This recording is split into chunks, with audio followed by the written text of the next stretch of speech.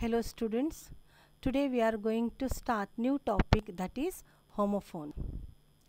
Homophones are pairs of words that sounds the same but have different meanings and different spellings. I have put some list of homophones. You can go through it and make a study of this given table. Now, here are the examples of homophones with sentences. Now, the first one is die and dye. Now, here the spelling is different. The first one is D-I-E and the second one is D-Y-E. The pronunciation is same, meaning is different and spelling is different.